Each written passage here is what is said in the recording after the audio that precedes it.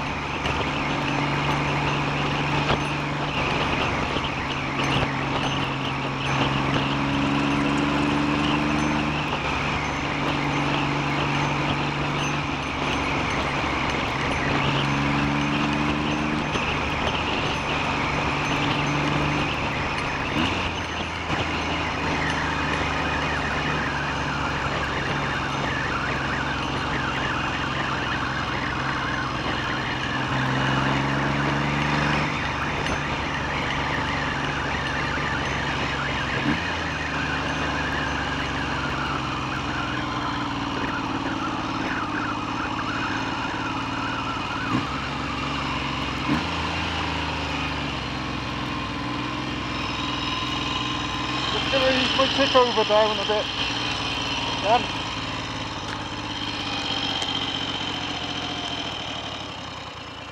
Try that. Racing a bit on the overrun there. Oops, and now we've stopped. I think I've got some minor adjustments to make to the carburetors.